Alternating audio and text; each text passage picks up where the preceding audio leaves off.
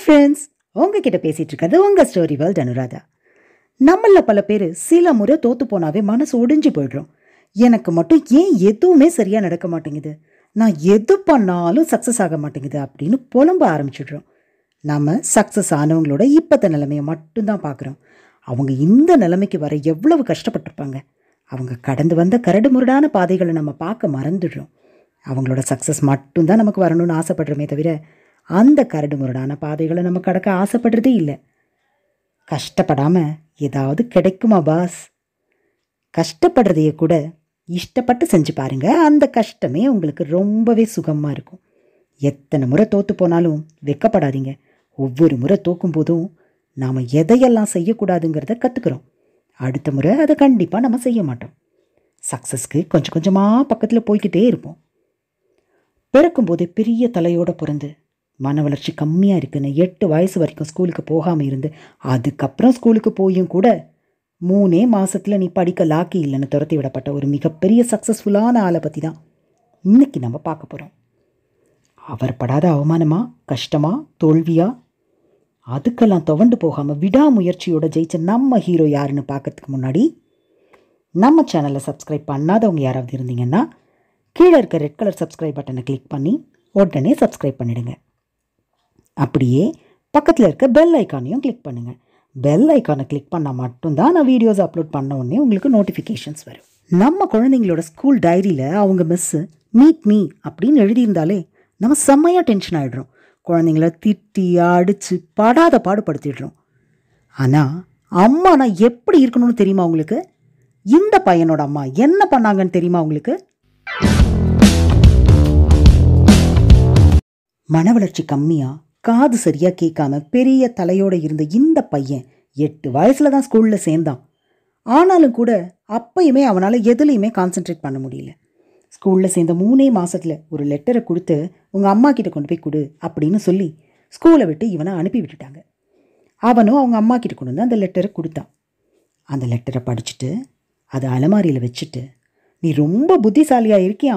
உனக்கு சொல்லித்தர அளவுக்கு அந்த ஸ்கூலில் யாருமே இல்லையா?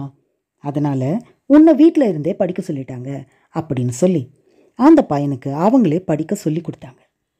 அவனும் நிறைய புக்ஸ் படித்தான் ஒரு ஒரு புக்கு படித்து முடித்ததும் அவங்க அப்பா அவனுக்கு கொஞ்சம் பணம் கொடுத்து என்கரேஜ் பண்ணார். அவனும் ரொம்பவே இன்ட்ரெஸ்டாக எக்கச்சக்கமாக புக்ஸ் படித்து முடித்தான் அதோட சின்ன சின்ன ஆராய்ச்சிகளையும் செஞ்சான்.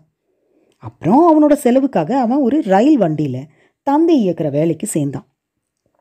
அந்த ரயிலில் ஒரு பெட்டியில் சின்னதாக ஒரு அச்சகம் ஒன்று வச்சு அதில் நியூஸ் பேப்பர்ஸ் அச்சிட்டு ரயிலில் வர்றவங்க கிட்ட எல்லாம் அந்த நியூஸ் பேப்பர்ஸை விற்றான் அது மட்டும் இல்லாமல் அந்த ரயில்லையே ஒரு சின்ன ஆராய்ச்சி கூடமும் வச்சுருந்தான்.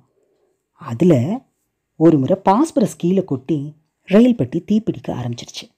அப்போ ரயில் அதிகாரி ஒருத்தர் அவனை ஓங்கி கன்னத்திலேயே அரைஞ்சிட்டாரு. அது வரைக்கும் கொஞ்சம் லைட்டாக கேட்டுட்டு இருந்த அந்த காதும் இப்போ சுத்தமாக கேட்கல அப்புறம் அந்த லேபையும் ப்ரெஸ்ஸையும் இழுத்து மூடிட்டாங்க அந்த அதிகாரிங்கெல்லாம்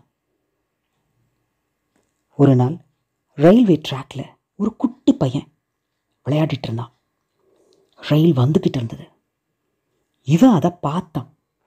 உடனே கையில் இருந்த எல்லா பேப்பர்ஸையும் தூக்கி எரிஞ்சிட்டு ஓடி போய் அந்த குட்டி பையனை காப்பாத்தினான். அந்த குட்டி பையனோட அப்பா ஒரு ரயில் அதிகாரி. அவர் நம்ம ஹீரோக்கு தந்தி அனுப்ப கற்றுக் கொடுத்தார். இவனும் அதை சீக்கிரமாகவே கற்றுக்கிட்டு அந்த வேலையில் சேர்ந்துட்டான். அதுக்கப்புறம் தான் நிறைய கண்டுபிடிப்புகளை கண்டுபிடிக்க ஆரம்பித்தான் பெரிய சயின்டிஸ்ட் ஆனான். அதுக்கப்புறம் ஒரு முறை அவங்க அம்மாவோட அலமாரியை பார்க்கும்போது ஸ்கூல்ல இருந்து அவனுக்கு கொடுத்து விட்ட அந்த லெட்டர் கிடச்சிது. பிரித்து படித்தான் என்ன எழுதியிருந்தது தெரியுமா? உங்கள் பையன் படிக்க லாக்கி இல்லை. அவன் ஸ்கூலுக்கு வந்தான்னா மற்ற ஸ்டூடெண்ட்ஸும் பாதிக்கப்படுவாங்க. அதனால் இனிமே அவனை ஸ்கூலுக்கு அனுப்பாதீங்க அப்படின்னு எழுதியிருந்தது. நாமெல்லாம் ஜஸ்ட் மீட் மீன் டைரியில் போட்டிருந்தாலே எவ்வளோ டென்ஷன் ஆகிறோம். ஆனால் இந்த லேடி பாருங்கள் எவ்வளோ அழகாக ஹேண்டில் பண்ணியிருக்காங்க. அவங்களோட இந்த பாசிட்டிவ் அப்ரோச் தாங்க நமக்கு இவ்வளோ பெரிய சயின்டிஸ்ட்டை கொடுத்துருக்கு. அந்த சயின்டிஸ்ட் யாருன்னு தெரியுங்களா? தாமஸ் ஆல்வா எடிசன் தாங்க அது. அவரோட இந்த சக்ஸஸ்க்கு என்ன காரணம்னு நீங்கள் நினைக்கிறீங்க? கண்டிப்பாங்க அவரோட இந்த சக்ஸஸ்க்கு முக்கியமான காரணம் மொதல் காரணம் அவங்க அம்மாவோட இந்த பாசிட்டிவ் அப்ரோச் தாங்க. அதுக்கப்புறம் ரெண்டாவது காரணம் என்னன்னு பார்த்தீங்கன்னா அவரோட விடாமுயற்சிங்க. எத்தனை தோல்வி வந்தாலும் துவண்டு போகாமல் திரும்ப திரும்ப திரும்ப திரும்ப அந்த கண்டுபிடிப்புகளை விடாமல் கண்டுபிடிச்சிக்கிட்டே இருந்தார் பாருங்க. அந்த விடா முயற்சி தாங்க அவரோட சக்சஸ்க்கு அடுத்த காரணம். அவர் சொல்லியிருக்காரு நூறு வெற்றிகளை பார்த்து வந்தவன் இல்லைனா ஆயிரம் தோல்விகளை பார்த்து வந்தவன் அப்படின்னு சொல்லியிருக்காரு. அது மட்டும் இல்லைங்க முயற்சிகளை கைவிடுறவங்க அவங்க வெற்றிக்கு எவ்வளோ பக்கத்தில் இருக்காங்கங்கிற விஷயத்தை தெரிஞ்சுக்காததுனால அந்த முயற்சியை கைவிட்டுடுறாங்க அப்படின்னு சொல்லியிருக்காரு. அது உண்மைதாங்க. நம்ம விடாமுயற்சியோட ஒரு விஷயத்த தொடர்ச்சியாக செஞ்சோம்னா கண்டிப்பாக வெற்றி நமக்கு கிடைக்குங்க. எதுவுமே முயற்சி பண்ணாமல் சும்மா இருக்கிறத விட எதையாவது செய்யறதுக்கு முயற்சி பண்ணி அந்த முயற்சியில் தோற்று போகிறது ஒன்றும் அவமானம் இல்லைங்க. அதுக்காகலாம் வெக்கப்பட வேண்டியதில்லை. தகுந்த பயிற்சியோட விடாமுயற்சியோட ஒரு விஷயத்தை நம்ம தொடர்ந்து செஞ்சோம்னா கண்டிப்பாக நமக்கும் வெற்றி கிடைக்குங்க. அந்த நம்பிக்கையோட தான்.